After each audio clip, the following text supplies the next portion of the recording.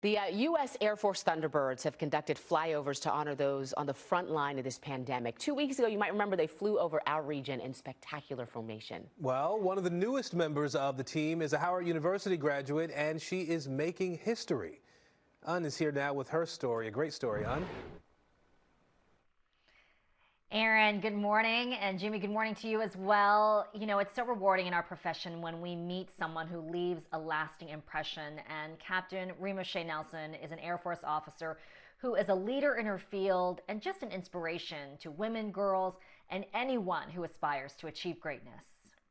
When the U.S. Air Force Thunderbirds roared over the skies of Baltimore, Washington, and Atlanta to salute the area's essential workers, a trailblazing officer flew in formation. So I know there is a small percentage of African American officers, uh, spe- specifically female officers in the Air Force. Uh, so to be in a position that is visible to show little girls that this is attainable, to let them know that they can do anything that they can put their mind to, uh, is an absolute honor. Captain Remoshay Nelson is the first African American woman to be selected to this elite team as public affairs officer.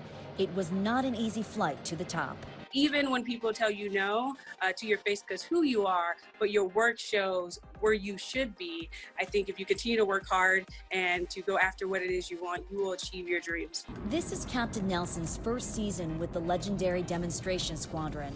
With shows on hold for now, the Thunderbirds have honored the heroes on the front line of the pandemic with flyovers around the country. Where people can look up and have some type of hope during this time and knowing that we will get through this. The Thunderbirds are with them. Captain Nelson was born in Atlanta and raised in Douglasville, Georgia. Her parents, a source of inspiration, had the chance to watch a flyover from their home. My parents, who definitely come from a low income family, who have did not go to college. They worked extremely hard to give me those opportunities. And I wake up every morning knowing that uh, if I work hard, continue to make them proud.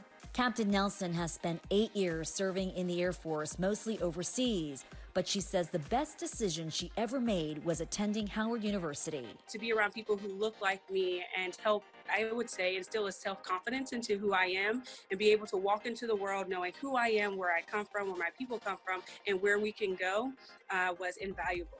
The values she carries with her in service are steeped in hard work, the drive to be the best she can be, and to make a difference in the world. We have one life to live. And so I want to do that by giving back, by showing other people what's possible, and to just achieve as much as I can while I have the opportunity to do so. I mean, the sky's the limit, right? Captain Nelson says when people give thanks, they should not only remember the healthcare workers who are heroes, but also the grocery store workers, food service, fast food, and sanitation workers as well who have to go to work every single day.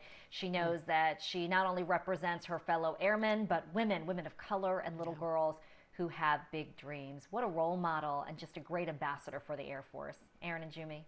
She really is. Wow. What a great story, Eun. Thank you.